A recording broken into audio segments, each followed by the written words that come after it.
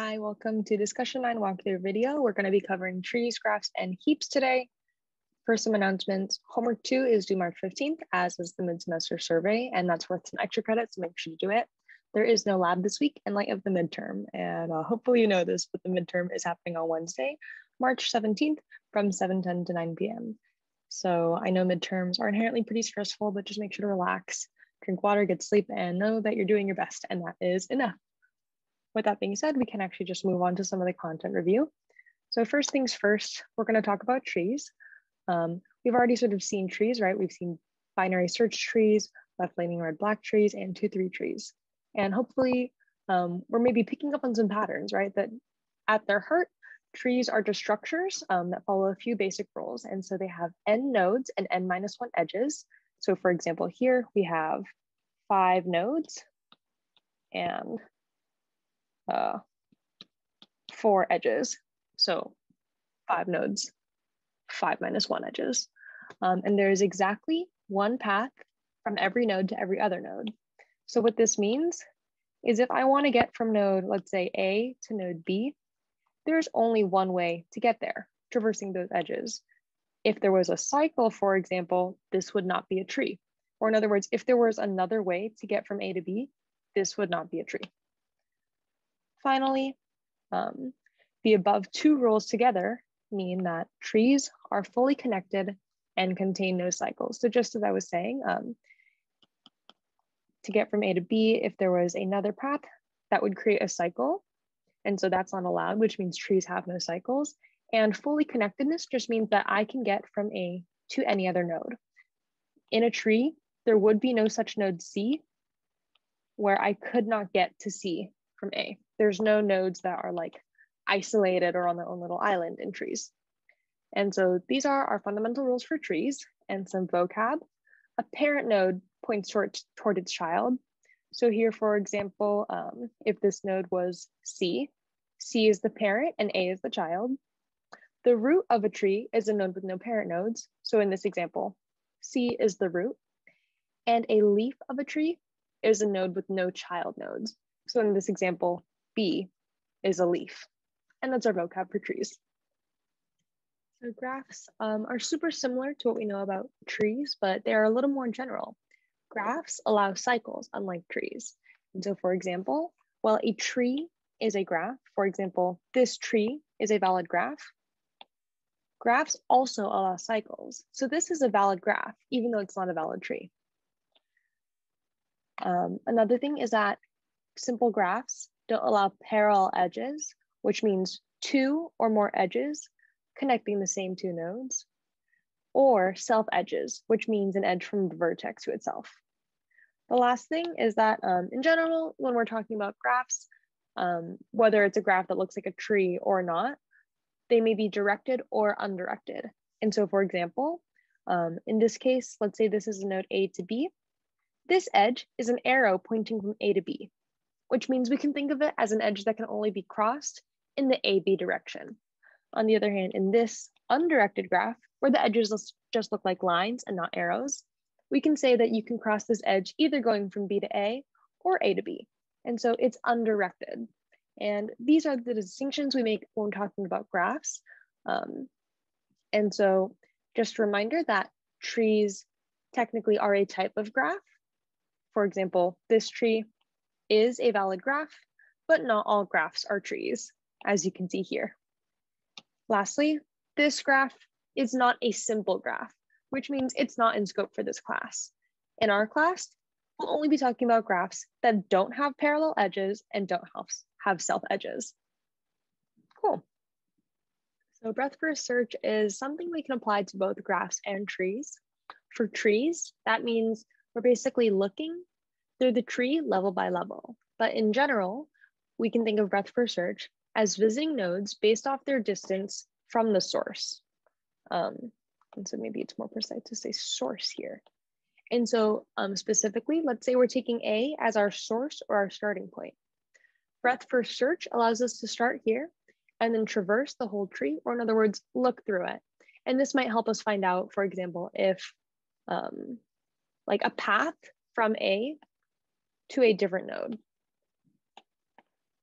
And so Breadth first search is super handy and comes up a lot. In this example, breadth first search would take us level by level, as it always does, which means we'd go to A first, then we'd go to the next level in our tree. So we'd look at B and C. Then we'd look at the next level and look at D and E. Another way to think about this is that A is zero nodes away from the source or starting point because A is our starting point. B and C are one edge away from our starting point. And so we visit the things with distance one next. And lastly, we visit the things that are two edges away from the start because to get from A to D, you'd have to take two edges and similarly with E. And so that is how um, we do breadth first search. In reality, we often implement this using a queue. And so if we think about this, we can imagine we have some sort of queue where we look at the nodes in um, the order we want to see them. And so for example, we start with our source. And so we put A onto the queue. Then because A's are first in, first out, we shove A through the queue and it comes out on the other side. We pop it off, which means we go look at A or explore A. While looking at A, we see, oh, A has these children, B and C.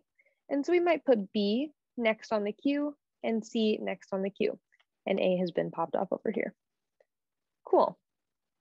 Well then, when we're looking at B, so we'd pop B off the queue because again, first in, first out. So B gets popped off, C marches forward in line. And now we're looking at B closer and we realize, hey, B has some children too. Specifically, B has these children, D and E. And so now that we're looking here, we're gonna wanna go ahead and add B's children to the queue. And so we'd add D and E next. But here's the important thing to remember. Because queues are first in, first out, we are going to visit C before we visit D and E because C was put on the queue first. C is ahead in line of D and E, so we're going to look at C next. And this is what brings us that level order. We visit all the things here before we move on to this next level. And so this is why BFS is really handy for scenarios when that's the behavior we want. So we'd pop C off the queue because it's next. And then we'd say, okay, C has no children. I'm looking at it. So we can just move on. And then we'd pop D and then E.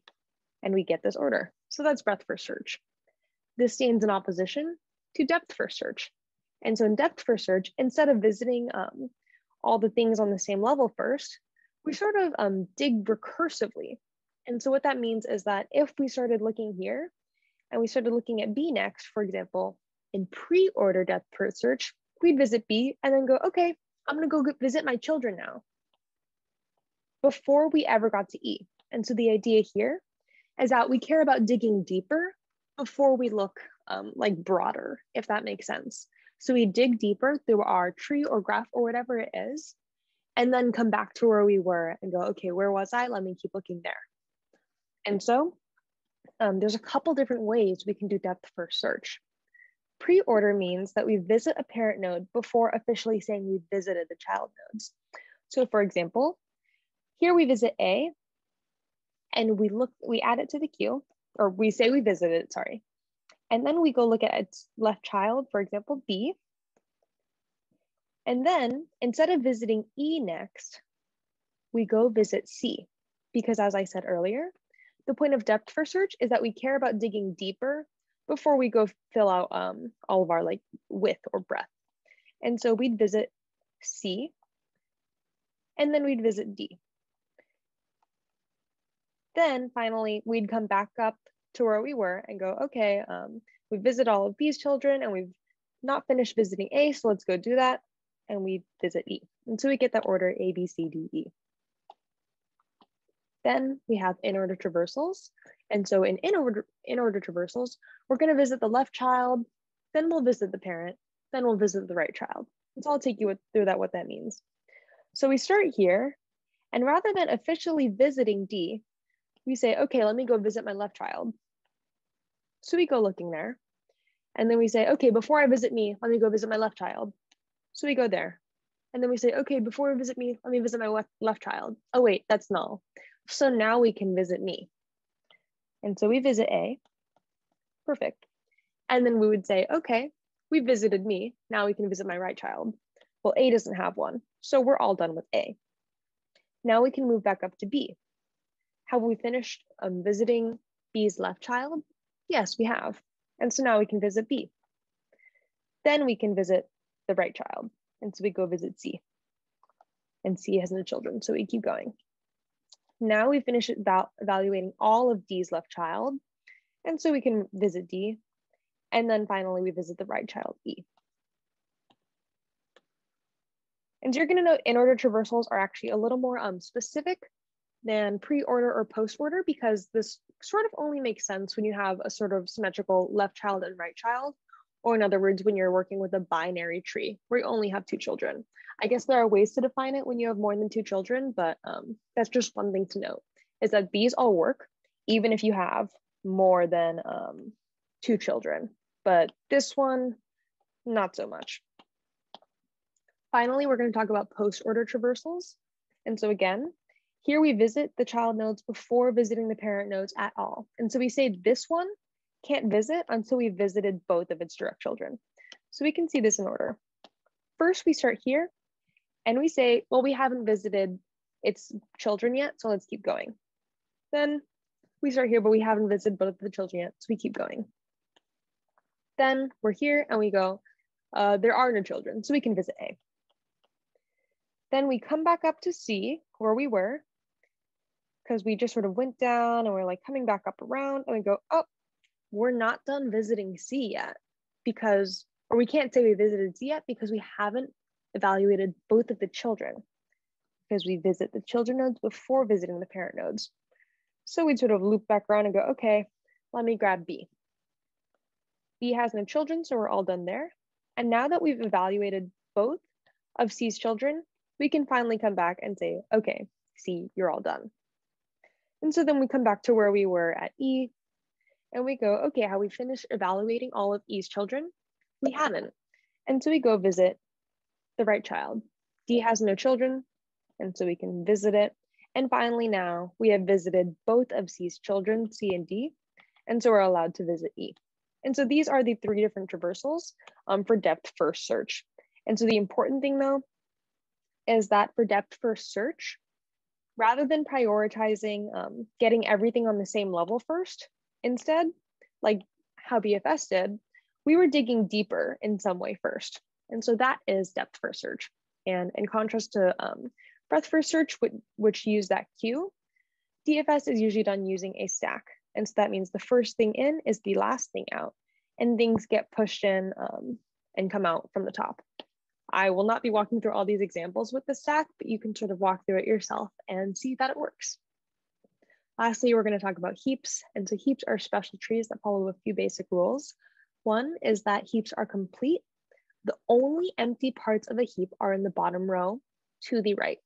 And so for example, this is not a valid heap because there are empty spots and they're in the bottom row, but they are not to the right. Instead, the empty spots are to the left here.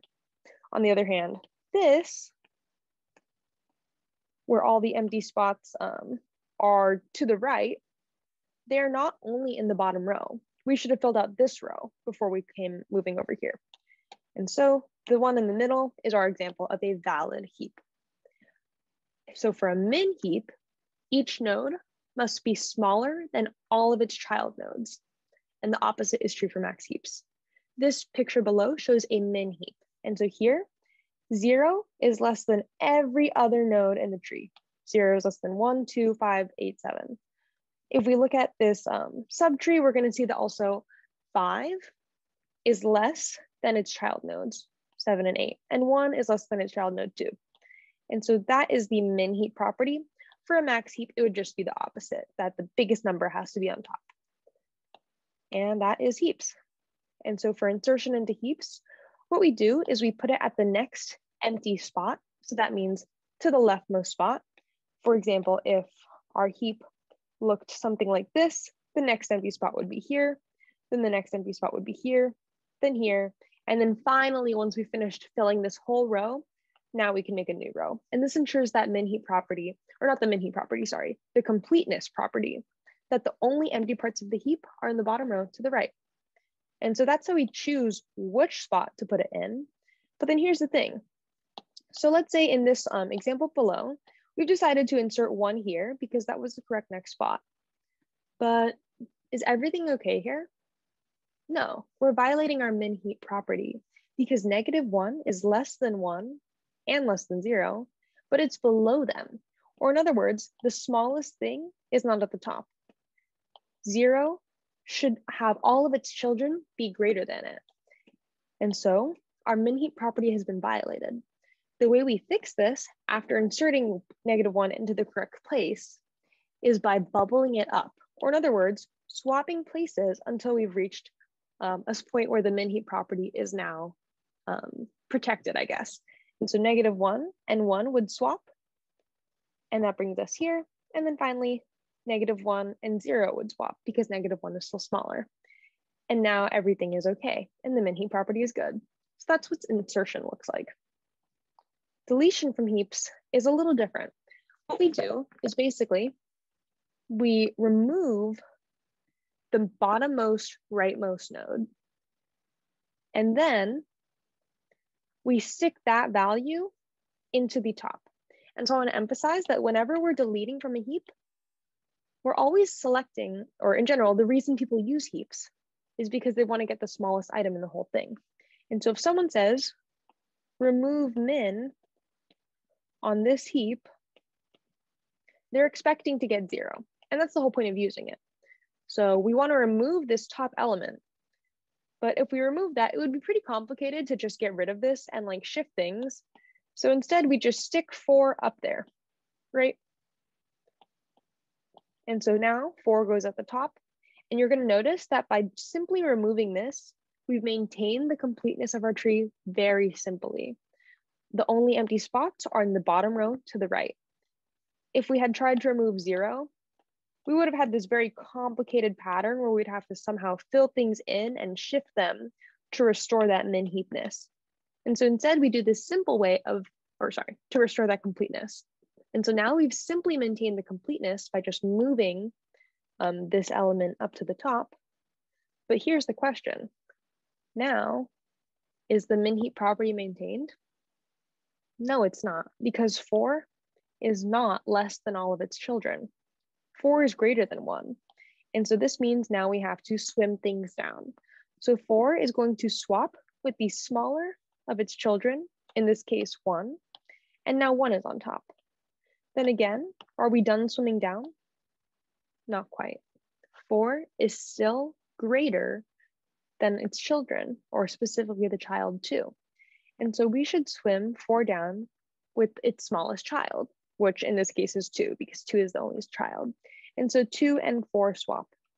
And now the result is that we have a min heap, which is both complete and obeys the min heap property, that the smallest things are on top and every node is less than its children.